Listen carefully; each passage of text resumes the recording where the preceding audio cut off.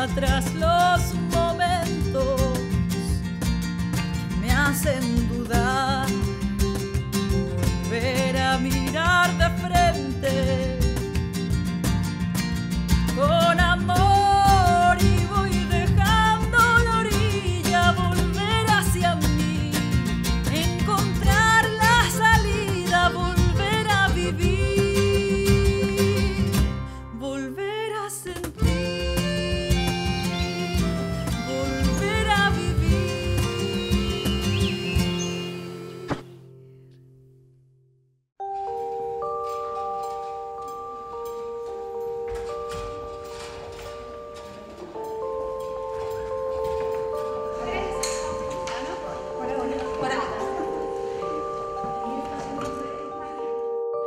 Carolina Rodríguez, tengo 28 años. Yo me crié en la población La Pincoya. Ya tengo tres peleas profesionales en boxeo y creo que voy por el camino correcto. Creo que voy a ser campeona del mundo. Me tengo toda la fe del mundo. Ahora falta solamente las oportunidades que se abran para poder llegar allá.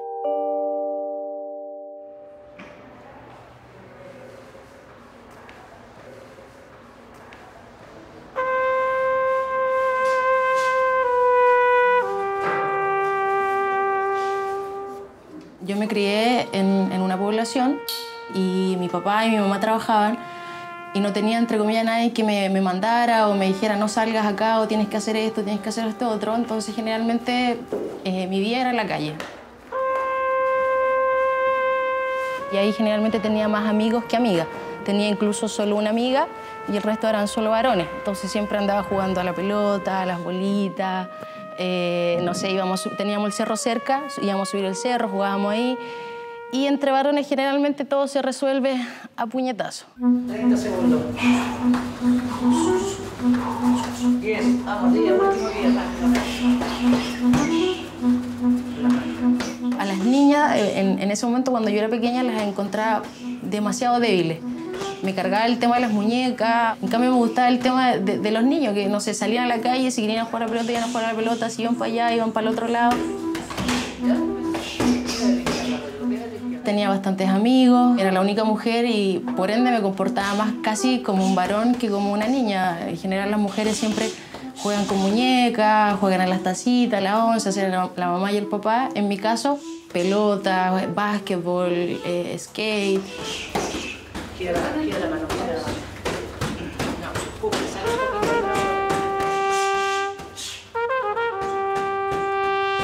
Incluso muchas veces eh, yo, yo llegaba a mi casa con ojos morados, con moretones, y mi mamá me preguntaba qué me había pasado porque yo llegaba a 7, 8 de la noche y yo le decía que me había caído. Nunca le dije que me había peleado y mil cosas.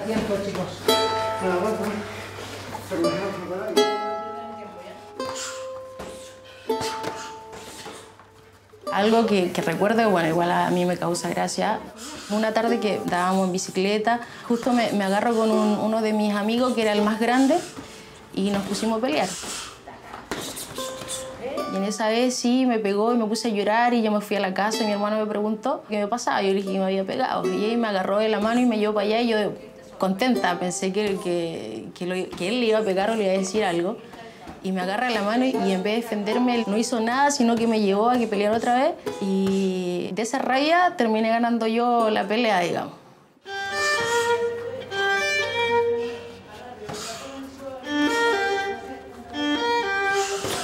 Y después terminamos de pelear y mi hermano me dijo que no toda la vida me iba a tener, no lo iba a tener a él o no iba a tener a mi familia y tenía que buscar las armas para defenderme y tenía que lograrlo.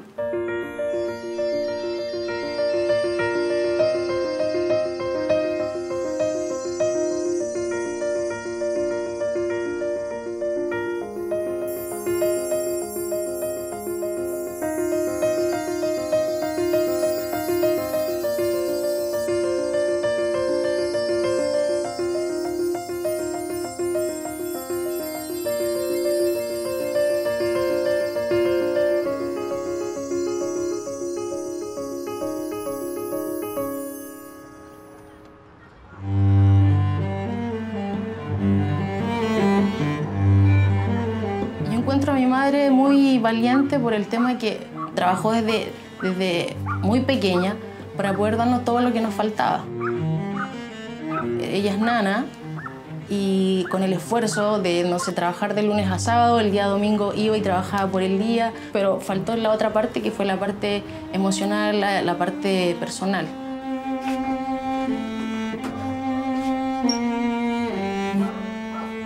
A mí, suponte, me cuesta decir te quiero, me cuesta abrazar a la gente que quiero, incluso a ella. Por dentro sufro y por fuera demuestro que, que todo va bien, que nada me afecta. porque como me encuentro débil diciendo eso.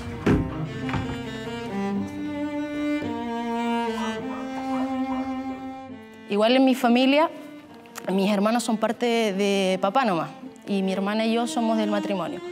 Entonces igual en- entre la familia había muchos conflictos. Entonces nunca, no somos una familia de mucho afecto. No nos, con suerte una vez cada cinco años nos decimos te quiero o nos abrazamos. Siempre fue como eso.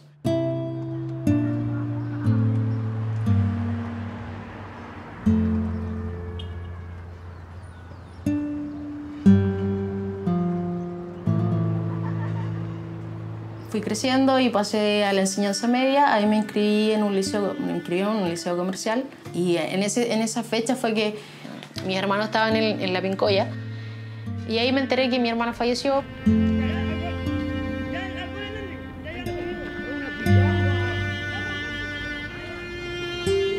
Salieron de la fiesta, él siguió para la casa medio tomado. Iba con mi otro hermano y aparecieron dos tipos de la nada, le pusieron una puñalada en el corazón y salieron arrancando.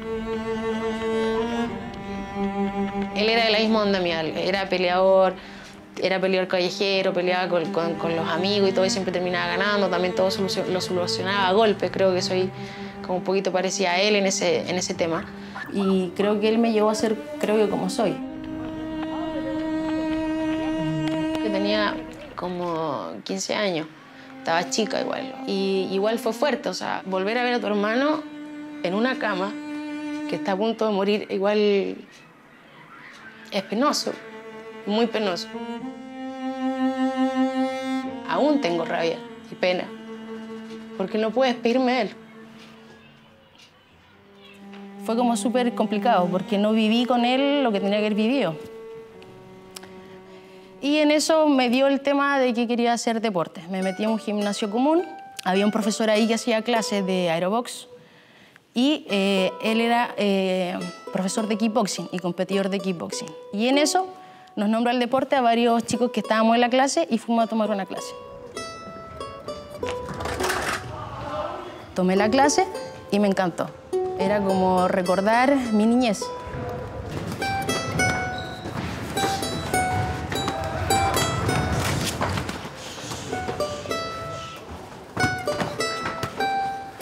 En general, el ser humano, cuando le da rabia, tiende a golpear. Nadie, digamos, como que si tú te, te- te enojas con alguien o discutes con alguien, eh, siempre te dan ganas de golpear. Nadie puede decir que, que no, que uno se va a sentar a dialogar. No es así. Todo el mundo quiere terminar en los golpes.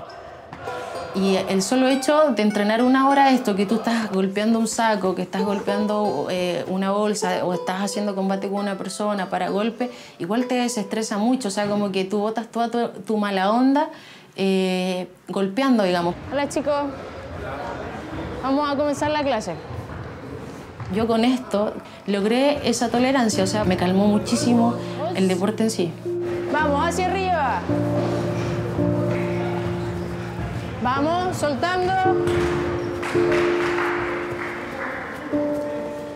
Rodilla al frente. Un, dos, tres, adelante. Un, dos, tres, al frente.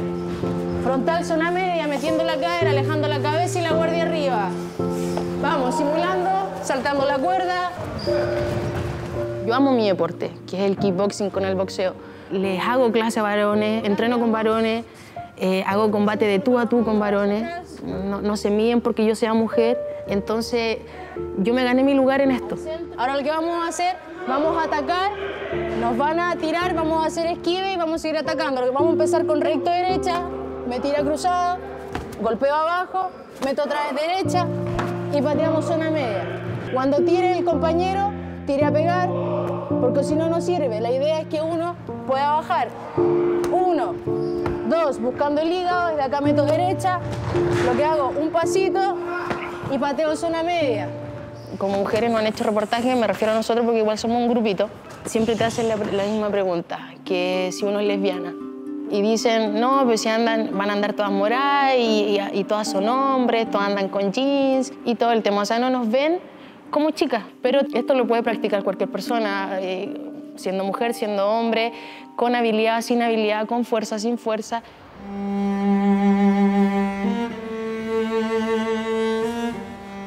Después, obviamente, sí o sí, eh, empecé, empecé a quedar con unos moretones.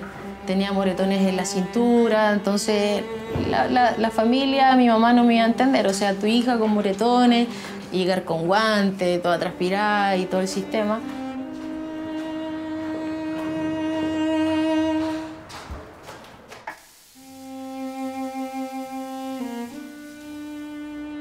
Y después ya el hecho de llegar a un punto de que no quieres trabajar para dedicarte al deporte, ahí ya empezaron mal los problemas. Porque mi mamá dijo, ya, lo hiciste, ahora dedícate a trabajar y deja el, el deporte como algo recreativo. Y yo no lo quise hacer. Y mi mamá, obviamente no tiene relación con el deporte, no iba a creer que yo podía lograr cosas en esto.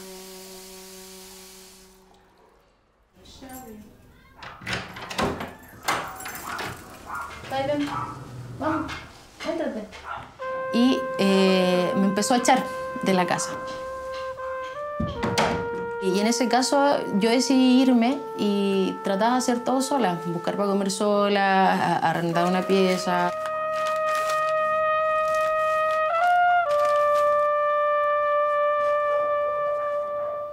Vivía en un lugar donde no quería estar, no quería llegar y empecé a hacer tonterías para no llegar a donde yo vivía y me ponía a carretear. Entonces ahí entonces yo me ponía a probar cosas para no dormir y la larga me iba metiendo cada vez en un hoyo.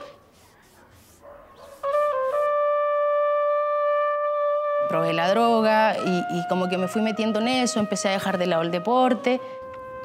Y yo no tuve, digamos, como la mano firme que me dijera, oye, estas cosas no se hacen, que me retara, no sé, cualquier cosa. Necesitaba alguien que me pusiera las reglas. Entonces tuve que decidir sola entre eso y lo otro.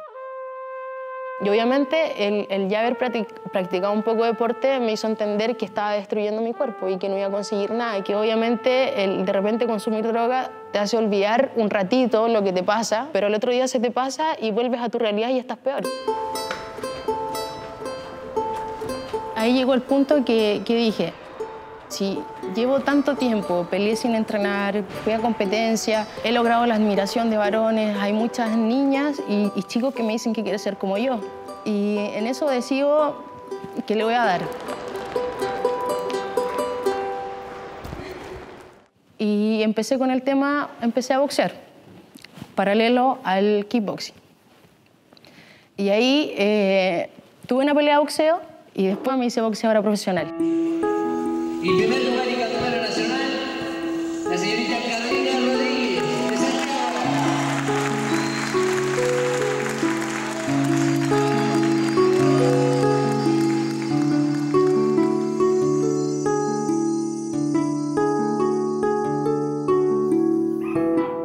Ahora sí puedo decir que vivo de mi deporte, quizás no soy millonaria ni tengo mucha plata de estajo, pero sí me sirve para vivir diariamente y cubrir mis necesidades.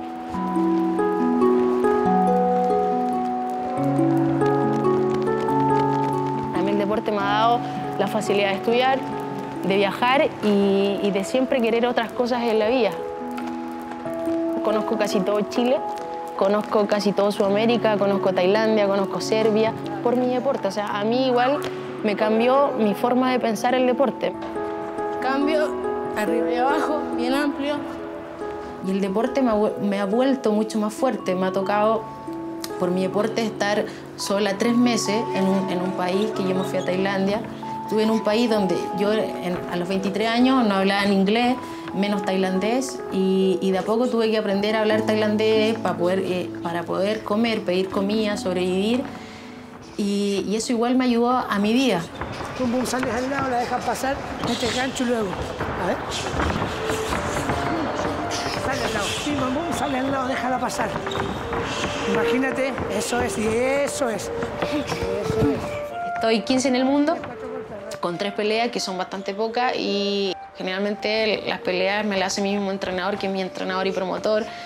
que, que es Claudio Pardo, busca por aquí, por allá, inventa cosas y un evento sale carísimo, sale 6 millones de pesos, 5 millones de pesos y sin auspiciadores. A ver, mira, vamos a hacer. Eh, primero vamos a hacer unos 3-4 rounds de combate.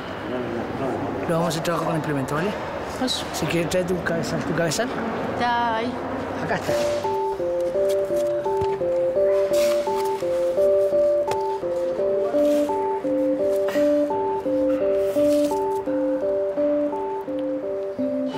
Oye, tírale fuerte. Cuando tiremos, olvídate que, que es mujer, no te olvides. ¿Listo todo el mundo? ¿De un minuto? Vamos. Tiempo.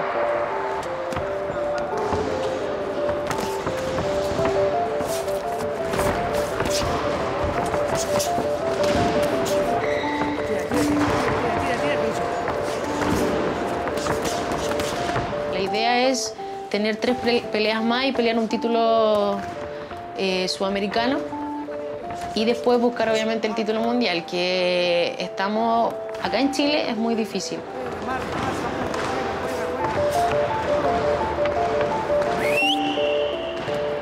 Ahora lo que estamos pensando hacer es, irnos a Argentina y, y él me está apoyando 100%. Entonces si yo hago un buen papel, eh, van saliendo cada vez más peleas.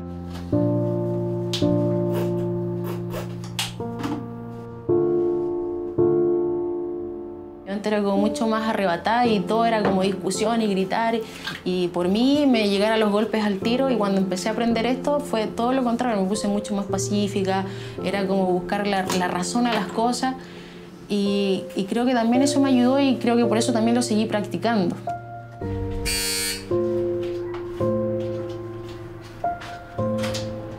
Hola, papito. ¿Cómo estás? ¿Bien sí. Pues ahí compré galletitas, chanchito para que tomemos oncecitas ahora. Porque lo olvidaron ya. Quería decir, ¿y viste tú? Ah, eh, ¿Cuándo fui? Ayer fui. Nos vamos en a Argentina en auto. ¿Y hay más peleas? Por eso me voy. ¿Ay, por cuánto te hay? Dos meses. Por el momento. Yo por el 18 tengo la semana completa. Vaya, pues. ¿Ah? Vaya. Para que se arranque. Vamos a estar seguro eh, septiembre, octubre. Si me hubieses preguntado hace cuatro años atrás cómo es la personalidad de tu papá, no te hubiese sabido responder. Estos últimos años hemos hablado harto, compartimos mucho más. Ya como que hay mucha más comunicación. Siento el apoyo, siento el cariño, siento el amor, siento todo. Antes no podía abrazarlo.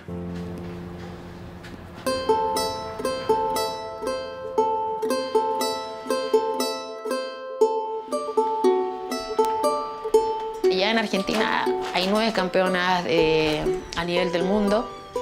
Es el país que tiene más, más boxeadores de Sudamérica y es lo que tenemos más cercano. Entonces vamos a, tirar todos los palillos para allá, vamos a lanzar la última piedra que acá nos vamos a jugar ese tema.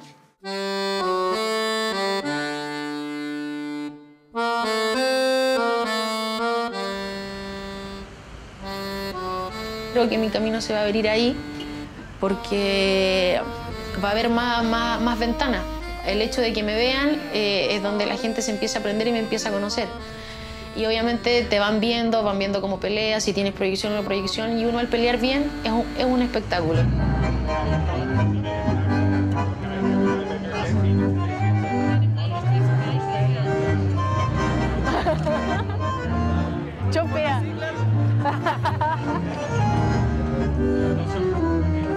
Deportiva me ha tocado enfrentarme con, con niñas de bastante eh, experiencia y con título y con todo. Y eso ha hecho el tema de que yo eh, confíe en mí, sienta que, que lo que yo estoy haciendo lo estoy haciendo bien y que voy a ser la, la mejor.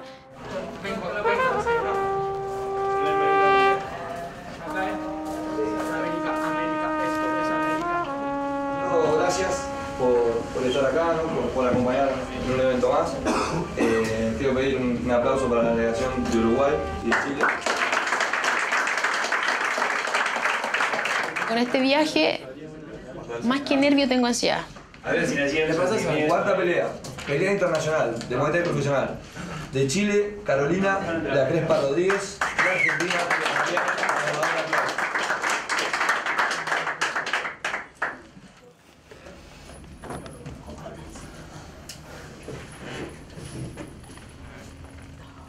54,700. No me da en lo absoluto miedo ni nada, solamente quiero demostrarme a mí, eh, más que nada, o sea, aparte de la aprobación de la gente que yo amo, es para mí, es demostrarme a mí que sí puedo y lo voy a lograr.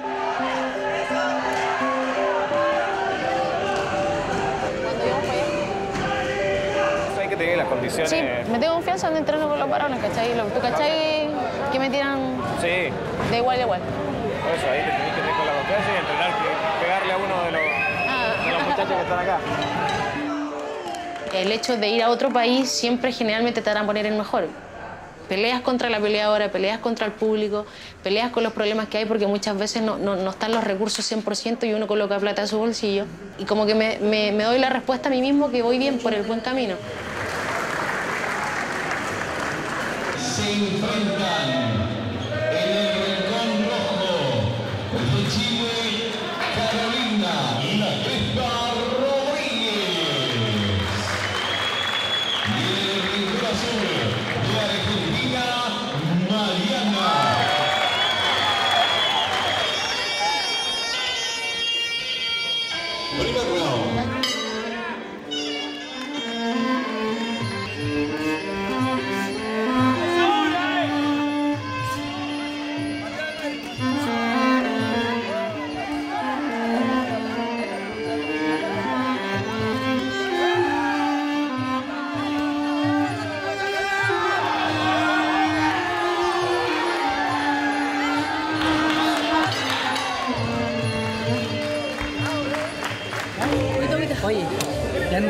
por eso no entró arriba. ¿Te mojo? Está jugando, sigue jugando. Segundos afuera, tercero y último round.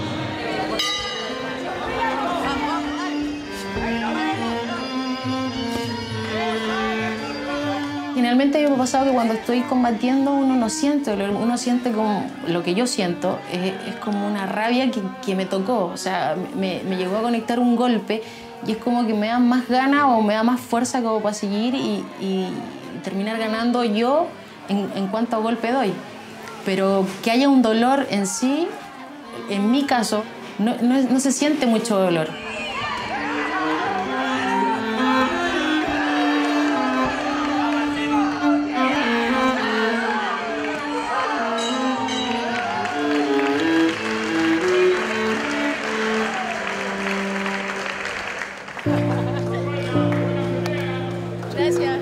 El tema mío es llegar a decirme, sí, Carola, eres la mejor, que me levantes la mano, quiero ser campeona del mundo, sé que tengo las condiciones.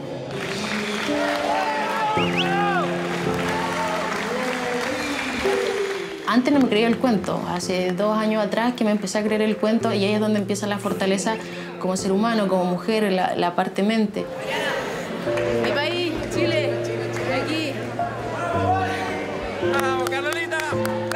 De chica me he encontrado fuerte.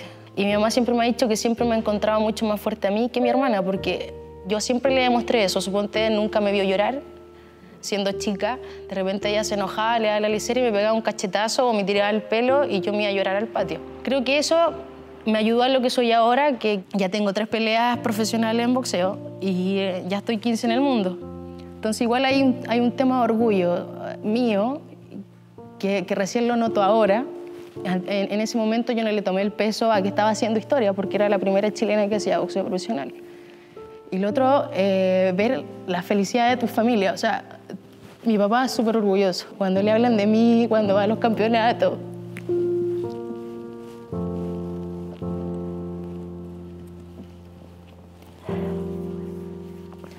Y mi mamá que ahora cree en mí, pues, De lo que Cuando llego a Chile, lo primero que hago es mostrarle la pelea a mis papás.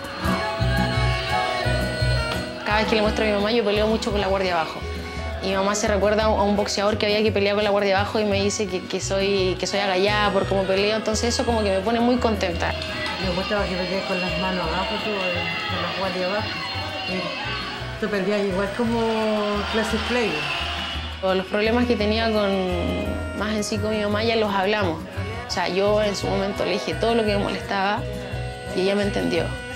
Y también obviamente me pidió disculpas y que ella no se dio cuenta y todo el tema. Y en el caso de mi papá igual, o sea, hemos hablado harto, compartimos mucho más. Y ahora mi mamá está conmigo al 100%, mi papá también. Ay, mira que te quedó bonito el pelo. Sí, se me arregló. Me creció. Mira la pelea, pues. Entonces, eso, lo- por eso siento que ya está sanado. En el sentido que ahora sí los puedo abrazar, les puedo dar un beso. Antes no podía abrazarlos. Y después que aprendí a pelear, calmó, me calmé en sí. Me puse mucho más pacífica. Era como buscar la, razón a las cosas. Y ya como que hay mucha más comunicación. eh, siento el apoyo, siento el cariño, siento el amor, siento todo.